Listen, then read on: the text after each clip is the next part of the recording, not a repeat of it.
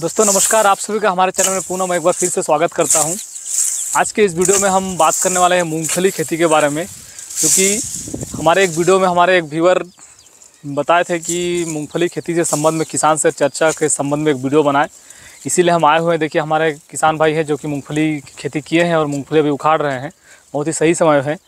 पिछले वर्ष की तुलना में इस वर्ष थोड़ा सा मूँगफली का फ़सल कहीं ना कहीं प्रभावित हुआ है। उसका कारण है कि बारिश बीच में लगातार जब मूँगफली लगा था तो लगातार बारिश हो गया, जिस कारण से थोड़ा सा प्रभावित हुआ। फिर अचानक से बारिश छूट गया, जिससे फ़सल कहीं ना कहीं प्रभावित हुआ है। फिर भी क्या इसका कंडीशन है? फ़सल में क्या, किस तरह से खेती किए हैं? क्या क्या तरीका अपनाए हैं? कुल कितना लागत लगा था और अभी कितना उत्पादन हो रहा है, उसी से संबंधित पूरा संपूर्ण जानकारी हम किसान से लेंगे। और उनका एक एक चीज़ पूछ के आपको हम वीडियो में बताने वाले इसीलिए वीडियो बने रहिए। और अगर आपको ये वीडियो अच्छा लगे या चाहे आप देखना चाहते हैं वीडियो को शुरू से अंत तक देखिए, तभी आपको एक एक चीज़ बारीकी से समझ में आएगा। चलिए वीडियो शुरू करते हैं। मैं हूँ नवीन और आप देख रहे हैं किसान ऑफ़िस।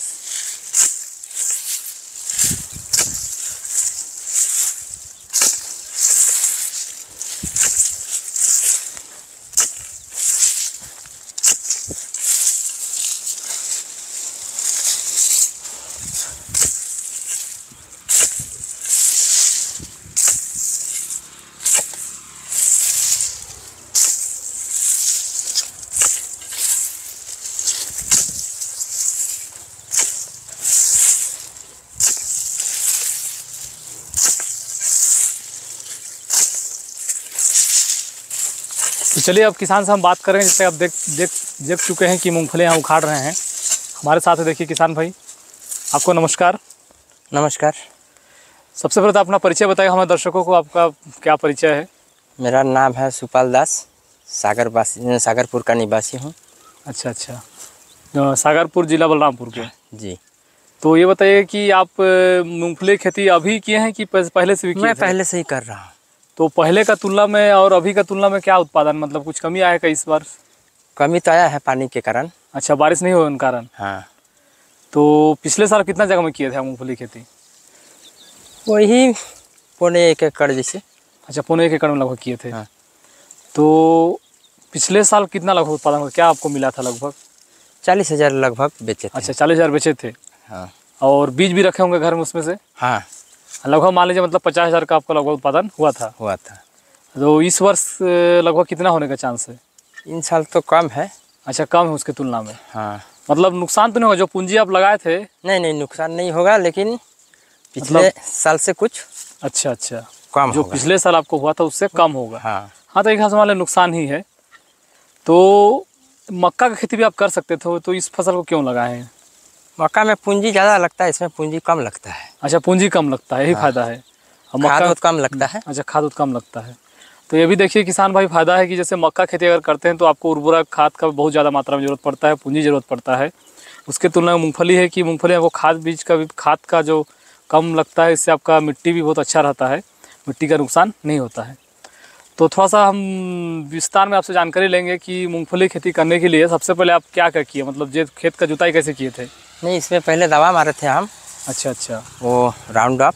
हाँ हाँ। उसके बाद पंद्रह मतलब जुताई करने से पहले आप दवा मार दिए थे? हाँ जी। तो काहे मारते दवा को? घास मारने के लिए। अच्छा पूरा घास मर जाएगा उसमें? हाँ साफ़ हो गया था उसके बाद जुताई किए। हम्म, हम्म, हम्म। उसके बाद बोए अच्छा पहले घास मारने का दवा से पूरा घास को मार दिए हाँ। फिर पंद्रह दिन बाद जुताई किए। हाँ।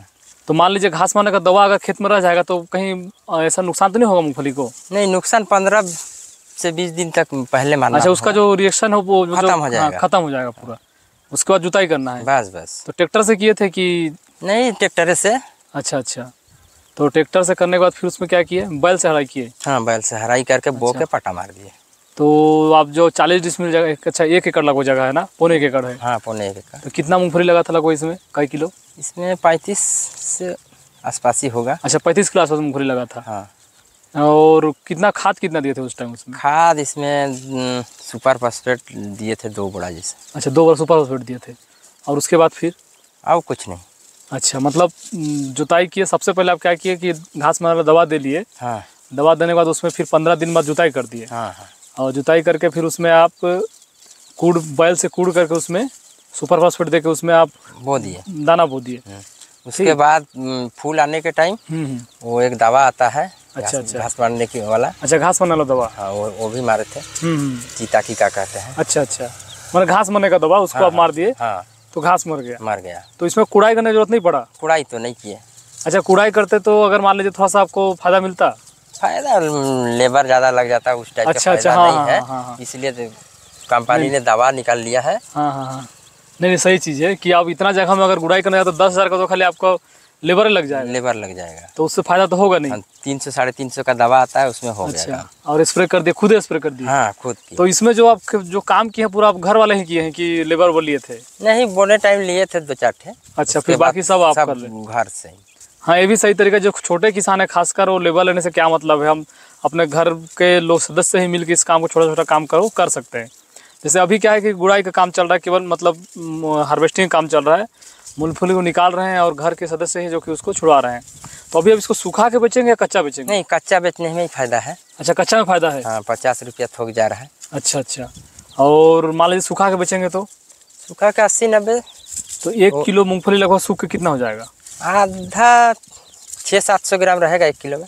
अच्छा तो, तो नुकसान ही। है। नुकसान उतने दिन पूंजी रखने से क्या मतलब? क्या मतलब है? उससे अच्छा उठा है तुरंत वैसे ही बेच दिए तो नगद पैसा मिल जाता है। हाँ। एक हिसाब से कैश क्रॉप है मूंगफली मान लीजिए कि उठा रहे हैं सीधा बाज़ार में जाकर उसको पचास रुपये थोक में बेच दे रहे हैं। अब ये तो खराब होने वाला है सब्ज़ी तो है नहीं। नहीं खराब तो होने नहीं हाँ। खराब नहीं आप- लेकिन सुखाना पड़ेगा एक बुरा दो बुरा निकाल रहे हैं उसको बाज़ार में बेचते जा रहे हैं। हाँ। तो कितना दिन से निकाल रहे हैं इसको? ये हो गया दस बारह दिन। अच्छा मैंने बाज़ार पे जैसे जैसे साप्ताहिक बाज़ार आता हाँ, है अब हाँ। निकालते हैं उसको बस। बेचते जाते हैं। इसके अलावा रो इसमें रोग कीड़ा तो कुछ नहीं लगा था? वैसे तो नहीं बता पाऊँगा। हम्म हम्म। मैंने मतलब कीड़ा उड़ा से फ़सल को तो नुकसान नहीं किया है ना? नुकसान तो नहीं किया मेरे हिसाब अच्छा अच्छा मतलब सिर्फ़ इसमें आपको लगाया खाद और घास मारने का दवा? बस। और बीज आपका घर में था? घर में था। और एक दो लेबर लगा मतलब। बिल्कुल कम पूंजी। कम पूंजी में आप मूंगफली की खेती किए हैं मतलब? हाँ। तो जैसे ये खेत खाली हो जाएगा ठीक? इसके बाद इसमें कुछ लगाएँगे क्या? नहीं मेरे पास पानी का व्यवस्था नहीं है। अच्छा, अच्छा, अगर- रहेगा।